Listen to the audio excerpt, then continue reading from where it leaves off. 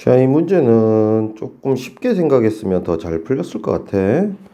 뭐, 3 이상의 자연수 n에 대하여, 뭐, 다음 주어진 직육면체를 한 모서리의 길이가 n인 정육면체로 조각을 내보재.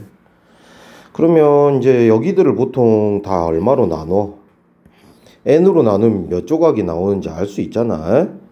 먼저 이쪽이 매우 쉬워 보이지, 여기는? 한 조각밖에 못 만들어. 그지?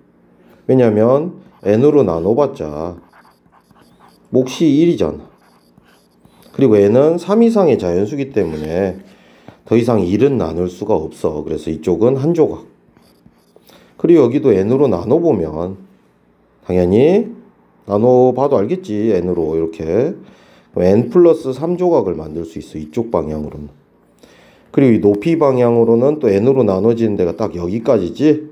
물론 나눠봐도 되지만 어차피 2는 3 이상인 자연수 n으로 나눌 수가 없으니까 이게 남는 부분일 거야. 여기만 n으로 나눠보면 n제곱 플러스 3n 플러스 2조각이 남겠지. 그러면 이렇게 남아있으면 각각 가로, 세로, 높이 부분을 조각수를 곱해주면 전체 개수가 나오지. 그럼 얘들은 여기가 인수분해가 되고